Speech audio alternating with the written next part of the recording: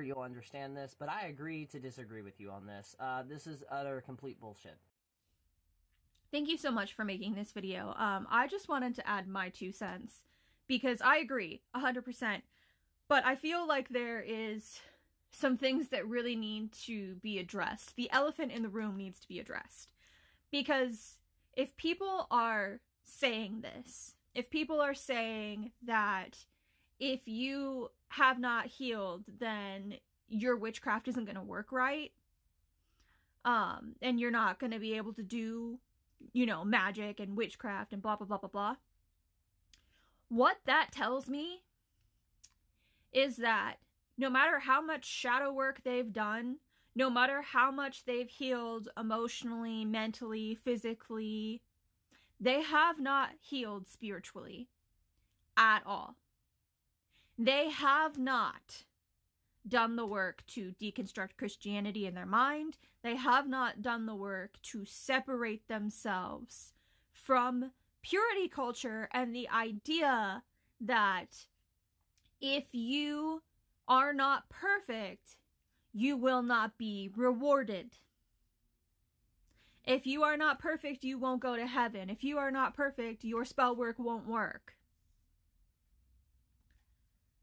Has my magic gotten better, more predictable, more accurate, stronger since I started down my healing journey?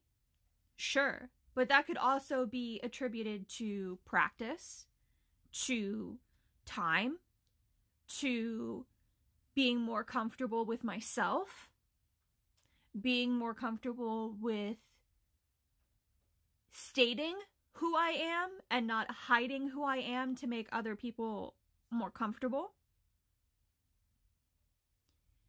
This idea that if you are not perfect, your witchcraft won't work is gatekeepy.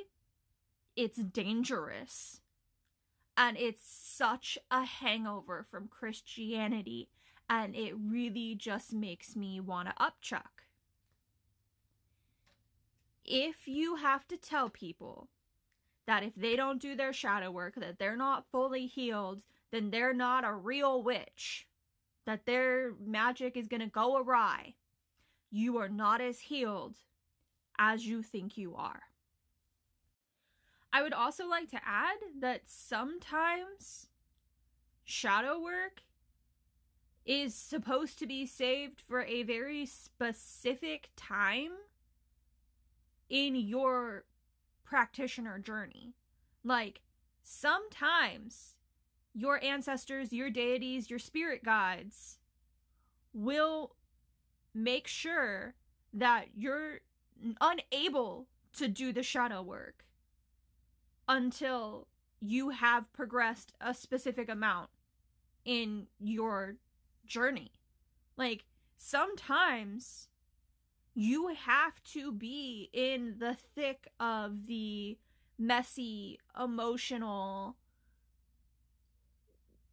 hype of everything to learn something about your practice, about yourself that might kickstart your shadow work journey or it might still not be time.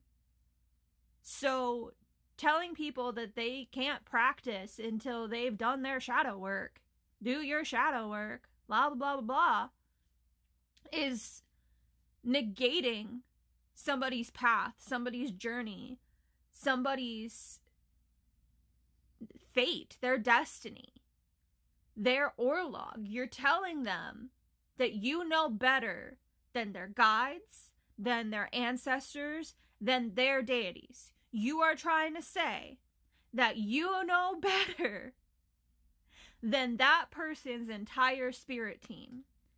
And you are trying to shame them for being on the path that they're supposed to be on.